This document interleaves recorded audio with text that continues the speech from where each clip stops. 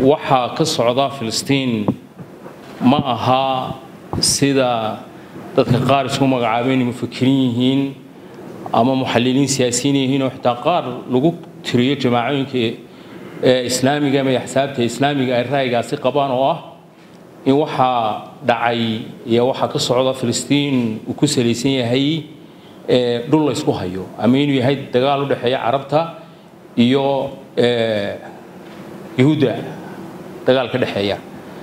Waa inaynu ogaano macrakatulwacyi haddaynaan gelin oo muslimiintu aanay si qoto dheer u fahmin sababaha gundhigyada u ah dagaalkan loo maaran waayey kuna dhammaan doono biidni illaahi tacaala inay muslimiintu ay dhulkaasi ay dib u qabsadaan oy soo hooyaan guulihii hore ee saxaabadii oo cumar bn khataab radi allahu tacaala canhu hogaaminayey dagaaladii dhaadheeraa ee ay bilaabeen cimaadizinki nuuruddiin maxamuud guushana uu ka gaadhay almujaahid alghazi salaxaddiin ayuub raxmat ullaahi calayhi.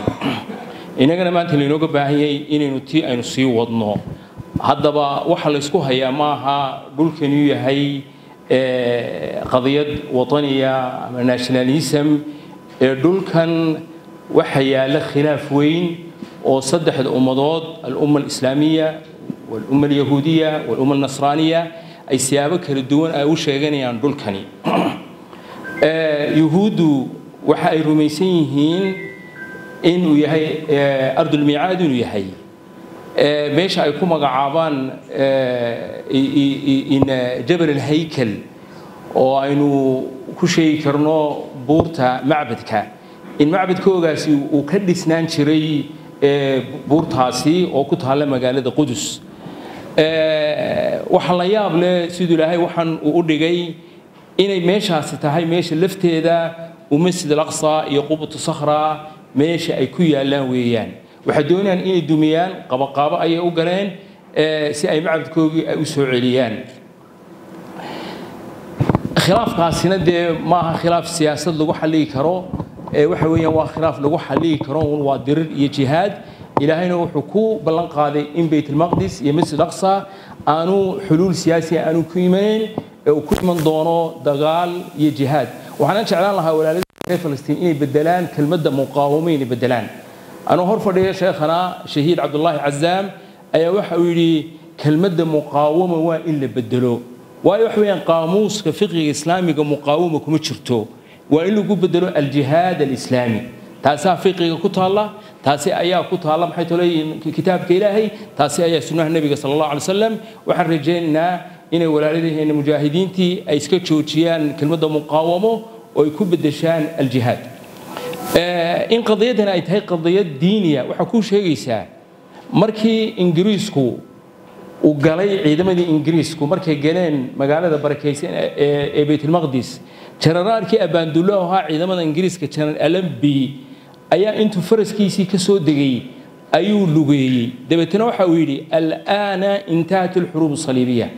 Oo doonayo inuu dagaaladii salaaxudiin uu nagaga adkaaday iminkaanu soo ceshanay iminkay dhammaadeen dagaaladii saliibiyiintu oo ingiriisku uu dib u qabsaday magaaladii baytulmaqdis jariirad iyo wargeys ka soo bixi jiray ingiriiska oo la yidhaa daily skitch ayaa maalintaasi beejkooga hore waxay ku qortay hadal odhanaya maanta ayay magaaladii barakaysneed ay ku soo noqotay gacanta dowladda ingiriiska. Waad fahmi kartaa inuu dagaalku yahay madiinada barakaysan dagaaladii saliibiyiinta kelmadahaasoo dhan waa kelmado diiniya oo nasaaradu ay u isticmaasho ayna u isticmaaleen dagaalka ay muslimiinta kula jiraan ee yuhuuddana ay ku taageerayaan. Waxaan intaa ku darayaa in generaalkii ciidamada faransiiska hogaaminaya generaal guuro kii marka ciidamada faransiisku ay magaalada dimashq galeen ayaa wuxuu tegey qabrigii salaaxaddiin buu tegey. Riwaayadaha qaar baad sheegay inuu cagtiisii iyo kabtiisii buurkeedu qabriga ku haraatiyey laakiin kelmad buu yidhi uu yidhi haa qad cudnaa yaa salaaxaddiin. Waa nagaa soo noqonay salaaxaddiinow. Marka waxay waxaasoo dhan ku tusaysaa inay waxaan yihiin dagaal diimeed ee dagaal siyaasadeed aanu ahayn. Casrigan maanta aynu joogno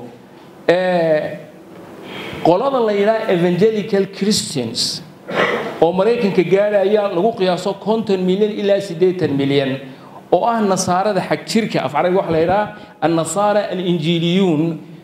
Waxa nimankaasi nasaarada ah ee nimanka donald trump taageeray bushrow taageeray oo ah nasaarada xagjirka ah boqolkiiba iyo labiyo siddeetan christian evangelicalka ka midii u fiirso boqolkiiba labiyo siddeetan waxay rumaysan yihiin in baytulmaqdis iyo ardu falastiin uu ilaahay tacala ama yaquul ugu ballan shacbiga yahuudda uu ugu ballan qaaday.